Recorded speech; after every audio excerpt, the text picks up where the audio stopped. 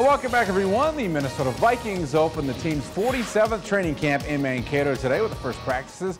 KSFY's Dylan Scott is there, and he has more with the team.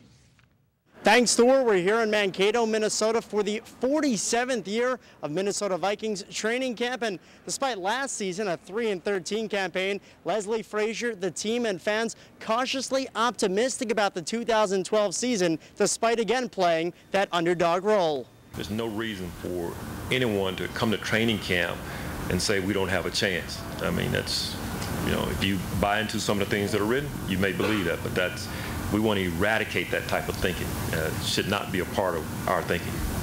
Offensively, much of the Vikings' success will depend on how quickly Adrian Peterson recovers from left knee surgery. However, several players such as Toby Gerhart said today they're ready to step in and fill the void until the four-time Pro Bowler is back on his feet.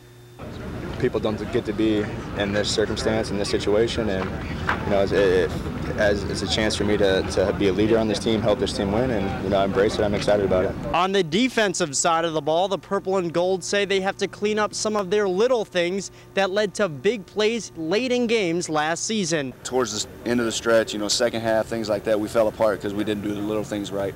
So this year, that's going to be kind of our biggest key is making sure that we're disciplined and that we do the do the little things right. For me, it's every year rests on its own merit. And so you go out here, you put it together, and you, and you try to be the best you can. But I mean, we don't have any outside expectations from, from other people. We we're 3 and 13. And of course, the beauty of day one in training camp is every team at this point is still undefeated. In Mankato, Minnesota, Dylan Scott, KSFY Sports. All right, thank you, Dylan. A reminder you can watch Vikings preseason football, all four games live on KSFY.